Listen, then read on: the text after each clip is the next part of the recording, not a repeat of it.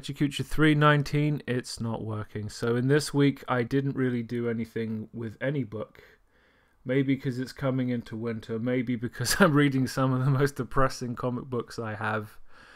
Uh, maybe because there was a couple of games I wanted to play, uh, but it all kind of came together in a week where I didn't really get a lot done. Uh, and you know, I, my Garth Ennis, Ennis Max Comics Punisher run is really a very interesting way of thinking about the Punisher. Having read it all in such a, I mean, all, all the stuff I have, having read it all in such a small period of time, the shameless bleakness of what the Punisher does, going around killing criminals, not really making a difference, but you know, he's kind of just like, I don't know, a disease that just kills things. It doesn't. People just kind of get around it. You know, you kill a criminal, there's a power vacuum, and then it, it doesn't really reduce crime. And then just the, the bleakness of the way that Garth Ennis populates the books with some of the most truly evil people um, imaginable. Like Nicky Cavella in this book is a guy who literally digs up the Punisher's family so he can piss on their graves, so he can lure the Punisher into a trap, so he can kill him, so he can take over the mob. Um, and the backstory of this guy who looks like he could just be any guy. I always think of him as like an Andy Garcia type mob character. Uh, he's just got this really disturbing background story where he killed most of his family when he was a kid because his fat aunt told him to do it so she could take over the mob.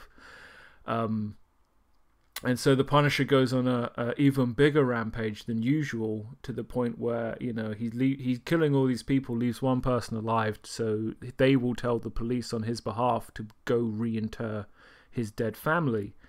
Um, so you've got the the cops who don't want any of this. Um, you've got the criminals who are naturally going to end up dead. The only redeeming thing about any of this run, Punisher gets laid. Uh, but the the woman he he ends up in bed with is is so damaged that it's in the middle of um, a bunch of, well, in between a bunch of serious things where people die, and um, it'd make a hell of a movie. But my God, you'd need to watch something Disney afterwards. I think. Uh, and then the second, maybe even more damning book is uh, The Slavers, where Punisher basically has chooses to shut down a, a people trafficking operation that kind of you know one of the the women victims just kind of ends up in his way and he he can't really turn his back on this because these are the type of people who really need to be murdered. It's a bunch of eastern europeans who've moved to new york who uh, ruthlessly run um, the sex slavery operation as a business except that the the father of the man who runs it um, he's just a cold-hearted bastard from like Bulgaria or wherever. And he he's, he he used to be a mercenary, and he just likes fucking murdering people because he thinks it's fun. Uh, there's also a, a, subplot where the police, um, who are kind of there's some dirty dudes in the police who try to frame the Punisher for beating up cops to turn public opinion against him because the Punisher famously always avoids civilian casualties or uh, attacking the police. Um, but maybe the most awful thing about the book is uh, there's a social worker who's trying to. She gives a lecture about possibly citing real world statistics about people trafficking, and it's it's it's brutal. it's, it's legitimately brutal because it's like, well, that might not be a work of fiction and maybe uh, if you want to call it a redeeming feature about this book, the fact that the Punisher for once opens fire on a bunch of people who were actually trained soldiers and it immediately goes wrong for him, that's at least clever, intelligent, entertaining storytelling. Of course, plot armor keeps him from dying, but you know, he can't have everything.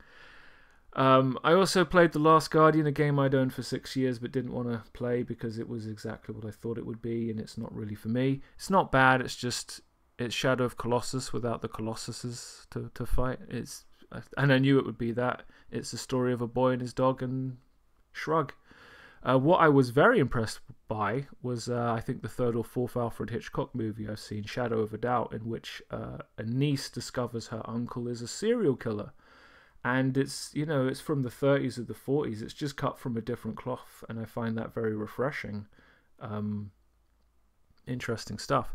Uh, Sherlock episode four, completely throwing away the idea that this is a program that has a, a, a detective police procedural format to it. This is the introduction of uh, Irene Adler.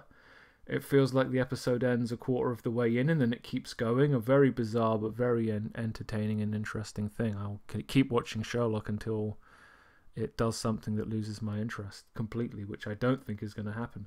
Uh, so I airbrushed a bison with the Last Guardian monster in it and couldn't really be bothered to put any more work into it than I did to playing the game. I might come back to this, we'll see.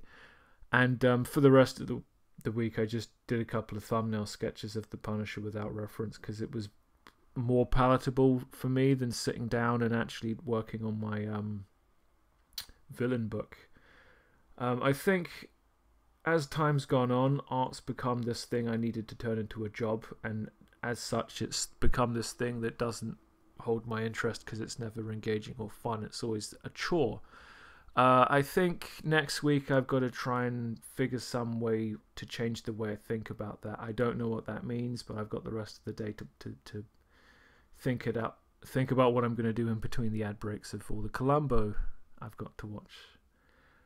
Um, a broad litany of thoughts cross my mind as extreme as quitting doing the Pecha series, um, and then on on the other end, completely reinventing the YouTube channel to just be like every every day I, I draw, I record it, I create a tutorial series to teach myself and to remind myself of all the things I do know, so that you know next year is the year where it all actually starts to turn into something but I'm going to be the guy that's got to do all that. So uh, I'm just going to have to, you know, wing it. We'll see what happens. But that's the end of Pecha Kucha 319, and I'll probably see you next time.